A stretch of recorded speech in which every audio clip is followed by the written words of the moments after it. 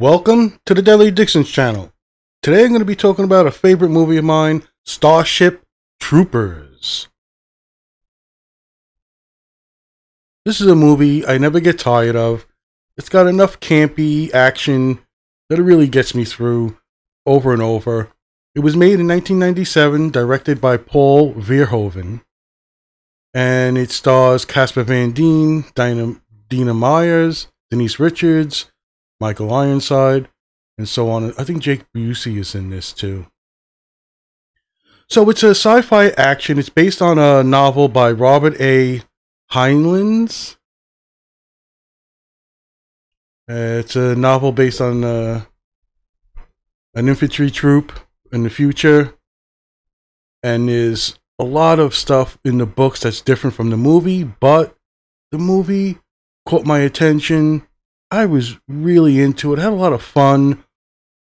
Um, you get so many plays on propaganda and how the um, uh, you know, like the media works with the uh, military. It just really hits a lot of those notes, and it does it well, which I don't think the book does so much. I think Paul Verhoeven took this idea and said, you know what, I'm gonna show some of the um, issues with certain things. Really fun movie and action packed. Watched it so many times and I don't really get tired of it. Now there are sequels that are bad. The rest of them were like uh, I don't know. It's hard to say now. Direct to DVD type movies or direct to streaming nowadays. I think there's uh three of them, and there's animated movies also. I really love the um they did an animated CGI called Roughnecks Starship Troopers Chronicles. That is amazing. It's a perfect blend of the movie and the book. You got mech suits and uh campaign episodes that uh wrapped up like on five episode arcs. Really, really good. I wish it didn't end the way it did, but that is something to look into if you're a real fan of Starship Troopers. Go find Roughnecks, Starship Troopers Chronicles. It's done well. It is amazing in my opinion. But getting back to the movie, it didn't do it wasn't critically acclaimed. It, it made its money back, but over the years developed one of those cult followings and talk about Paul Verhoeven. I mean, this guy has a unique way of filming it comes through in the movies you watch. I'm familiar with Flesh and Blood, which is an old medieval type uh, movie. Uh, but RoboCop, Total Recall, Basic Instinct, Showgirls, Hollow Man. He's done a lot of stuff up to recently, which I didn't see Benedetta. But I love him as a director. There are just some things you find of his that you're not even sure but you can feel his touch on this. He's got he's that that type of director. And you're gonna look at this movie and see all the fun it's making of um, you know, how everything works and it really centers on uh the 23rd century. We're like colonizing other planets and I think it's Brazil is hit with a meteor. And after investigation, they find that their meteor was directed towards us. And there you go. We're in a, a war with the bugs. I think on the animated Roughnecks, they called uh, they call them arachnids, and there's a hint of humans evolving to have low-level psychic abilities, and they're weeded out through the uh, program that gets you into the uh, infantry. But the whole thing, the mobile infantry, the cut-ins from commercials for them and newsreels. It is hilarious. It is a great um, window into this world. So they go investigate.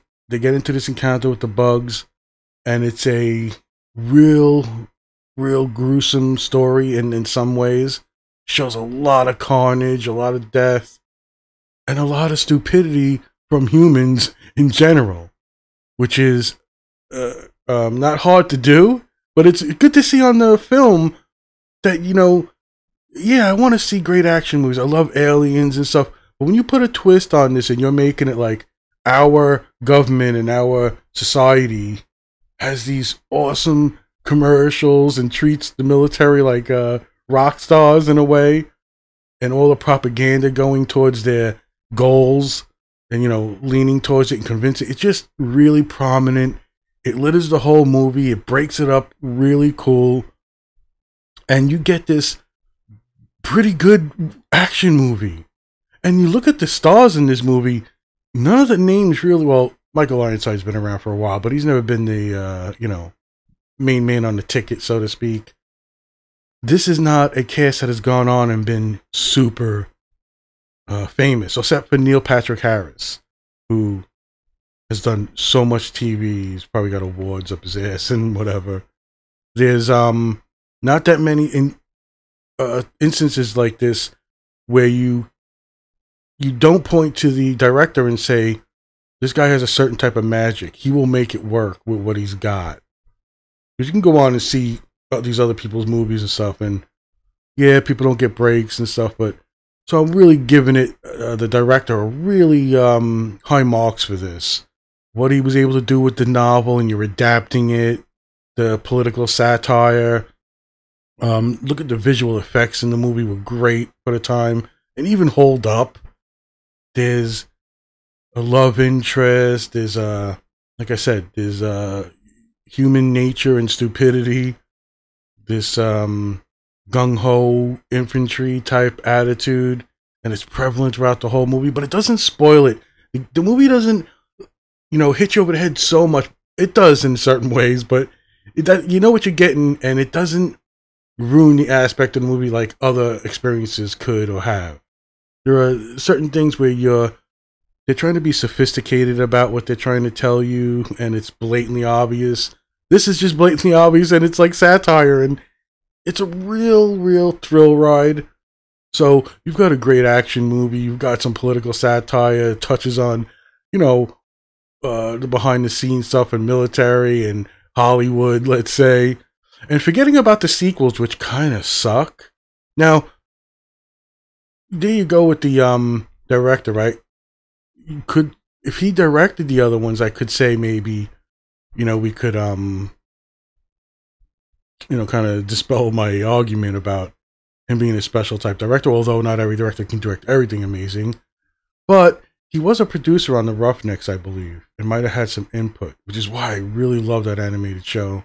It's like a CG animated, um, like I, I, maybe I'll do a whole podcast on that. But this is a movie I recommend. It's fun.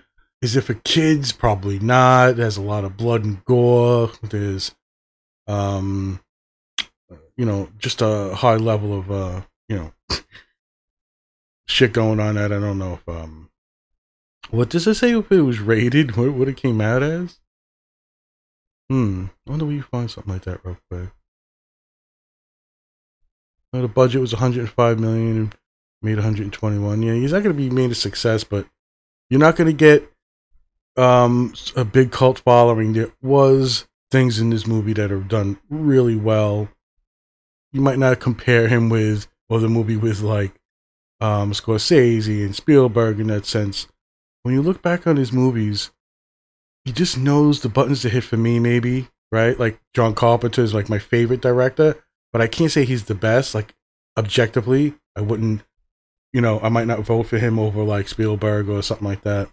So, yeah, you, you play with that, but you got a movie that's fun, action packed from beginning to end a little bit of a love story, uh, exposing human nature, the stupid things we do, how we act, and then we got this satire on the political landscape with news reports and uh, commercials and killing the bugs, do your part at home, and people are stepping on like fucking roaches or something.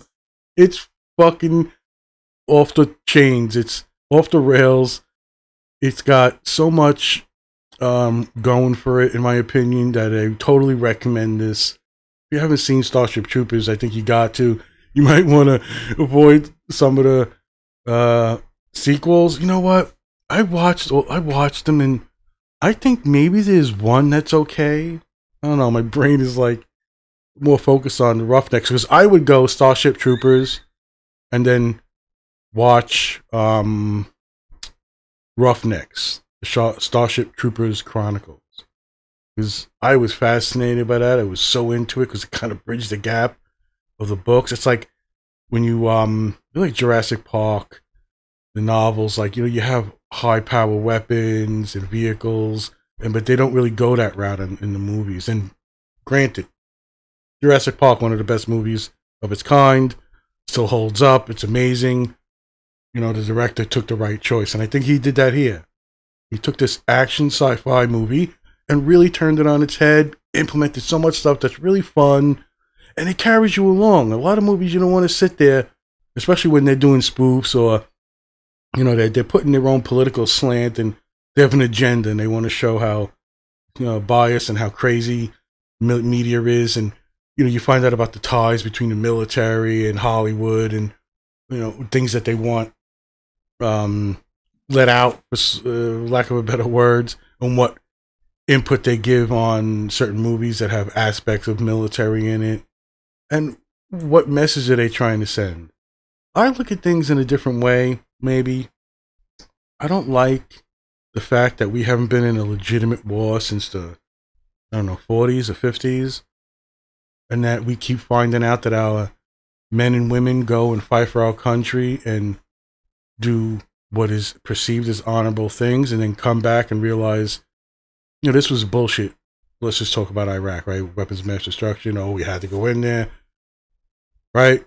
You find that, and then what do these people do? I really have a problem with that because I'm really into mental health and to, you know, issues like that and suicide amongst military and police.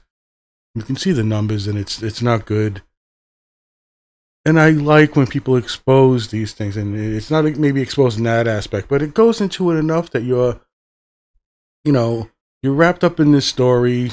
Uh, Earth has been attacked, and you're like, oh, you know, what anybody would do. You can imagine, you know, people start um, signing up. You know, enlist. I want to get enlisted. I want to go. Because when 9/11 happened, well, I, we would have I would have talks with my friends, and one of the things was the the atmosphere was so tense that if the government of the United States had said, everybody go to your docks, get on a boat, we're going to equip you, and we're going to go and we're going to take over the Middle East, or we're going to get the people who did this. Millions and millions of people would have gotten on those boats. And it just shows you how interesting, terrifying it is when you think of how many guns are in America. You look at armies, you look at certain uh, aspects. Go look at a 20 block radius of Brooklyn, New York, where I live. Manhattan, Bronx. I mean, I'm just talking about New York because I'm more familiar. I grew up here and I live here. Multiply that. And these are people who will would have gotten on a fucking boat, would have went and became holy hell, for lack of a better word, and uh, seek justice on the world. And it would have been millions and millions of people. I have no doubt about that. And I think this shows that it's um I think they do a class thing in the movie too. So when you graduate school, you're expected to go to career, military, and uh, certain citizen benefit uh, benefits. Because I think there's a little highlight there in an aspect when it's uh, you want to become a citizen, and it's like, oh, you got to go through this, um, you know, this program, so to speak, and there's a little bit of love, like I said, you'll get that story in there, um, but there's a lot of hijinks, a lot of out there things, but the special effects are great. They hold up to for the most part. I talk about sometimes like um you want to redo, you want to spend money and redo CGI in old movies. Take the Terminator, the first one. Amazing movie. You go back and you change some of those little things about the plastic looking face when he's messing with his eye, some of the robot things, and you just touch up that. That movie will be almost a flawless masterpiece. And I think it's a a hard earned skill, uh, takes in talent and eye, like the thing, John Carpenter's thing. It was doing special effects things, it was ingenuitive, and when you look back at it, you could see it, but you got to give it credit for the time and what they were doing. I think back to the Lon Chaney werewolf and the hair on the face, the way they like. There are, you know, certain people who will use the best of what they got, and I think Paul Verhoeven does this to a certain extent. Uh, I can't go back to his um, past history, like when he first started in 1960, but looking at the stuff uh, as an overview and going back and going, oh, you know, I remember that movie. That movie's great. You see it in his work, and you don't have to be living in a bubble to be a you know fan of RoboCop, Total Recall, and not know his twist on it. It's here in Starship Troopers, and it um, elevates it to another level. Like I said, you're not seeing a lot of these stars and other things becoming breakthrough stars. Uh, what is it like? George Clooney was on ER, and then boom, movie star. It, it didn't happen here, and the opposite maybe happened with Neil Patrick Harris becoming a superstar on TV. And he seems like a really nice guy. That's another big thing too. You don't want to be viewed as a asshole. And I'd like to see uh, some of his earlier work, Paul Verhoeven, and get the uh, impression of what it was like. Uh, like um, does the Twin Peaks? Uh, that guy's interesting too.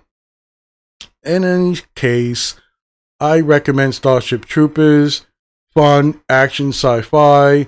It's got a twist to it and some satire that's really powerful. There's uh, strong emotions, like I said. You know, uh, Earth has been attacked. We have an enemy. Uh, let's unite. Let's go out there. And we cause havoc and there's war and blood and guts.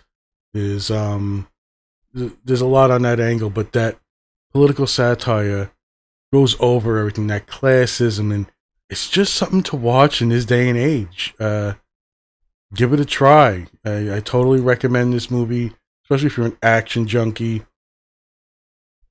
In any case, I hope everybody's doing well. They're starting to lift restrictions and we'll see what's going on. Uh, my aunt's got the vaccine, my mom hasn't. I do a lot of delivery work, so I'll be wearing a mask for uh, probably a while.